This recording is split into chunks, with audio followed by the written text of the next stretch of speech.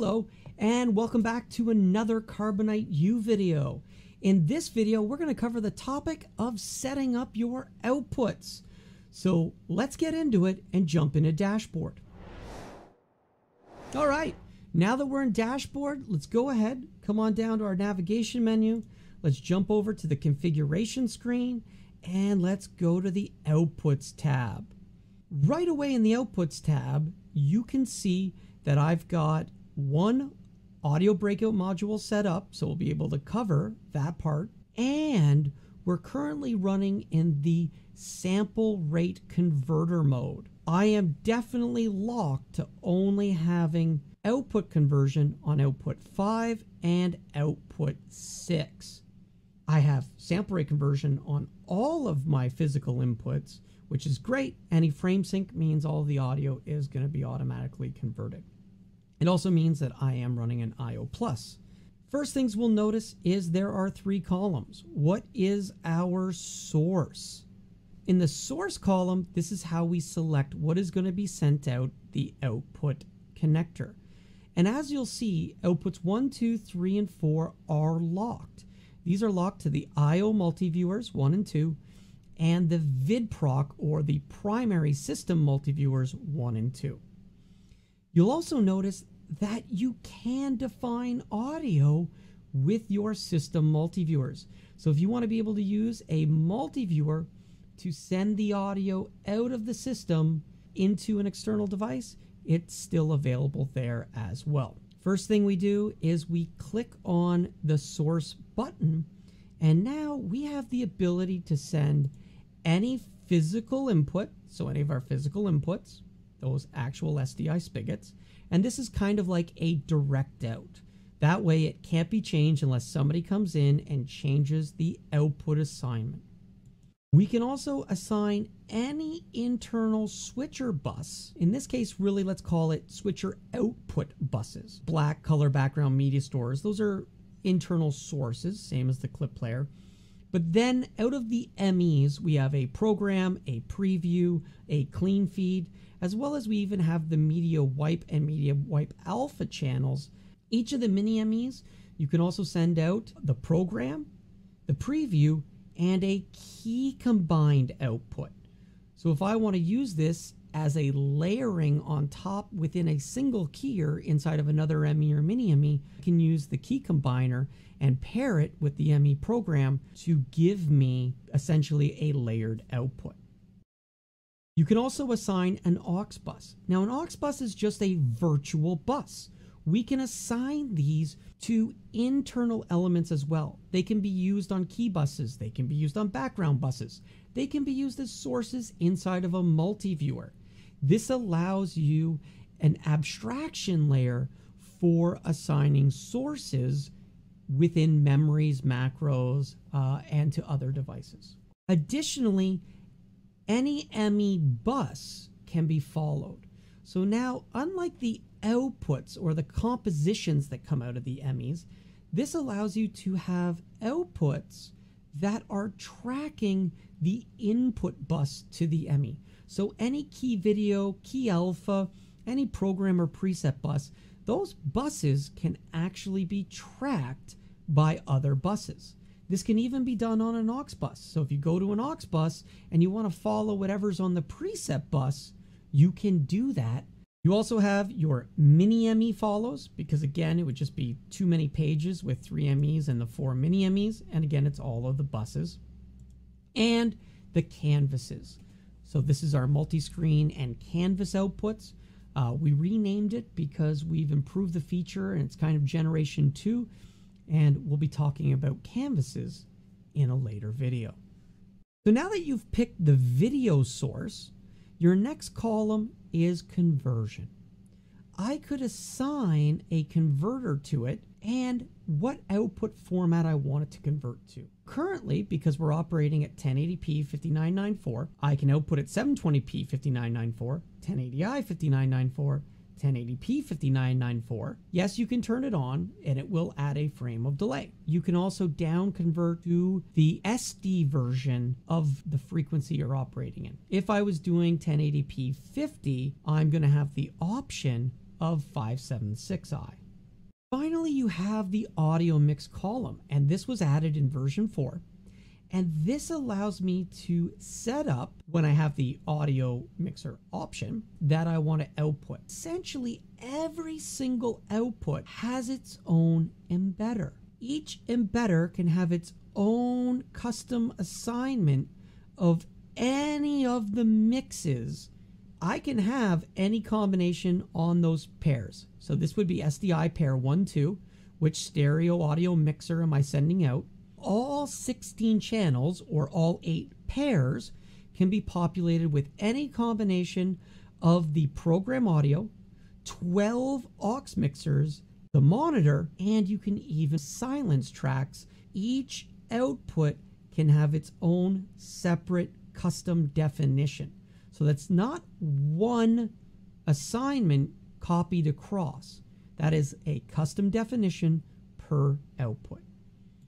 The other two modes that you have is pass through. Pass through is there, and that way all 16 channels of the source are going to be passed through.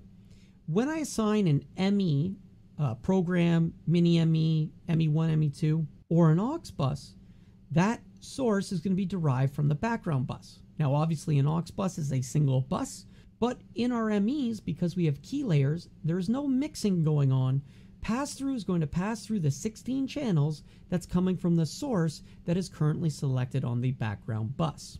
Standard was a methodology to maintain compatibility with our graphite early generation setup. Uh, and this was just a standard configuration which would send main, aux1, aux2, aux3, aux4, aux5, aux6, and monitor out. And this is just kind of the standard mixes.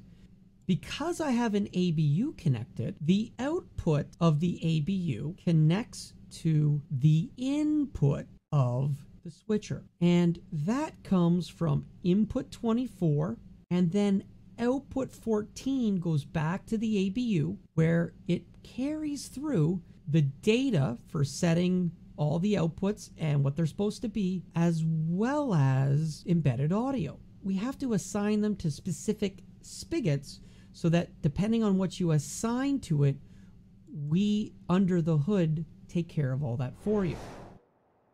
When we look at the getting started guide on the website, ABUs tie into the system. You see the output 14 traveling two frame in and two frame out traveling to input 24 very important to wire these according to which audio breakout module or breakout unit is connected. When I add a second unit, I have to wire to input 23 and output 13. So it's very important to understand that you're not losing these inputs and outputs. What we're doing is we're bringing the video into the audio breakout module or audio breakout unit and maintaining the first four channels of audio for that source, and then embedding on top of channels 5 and up the 8 analog inputs and the 2 AES inputs from the associated audio breakout unit.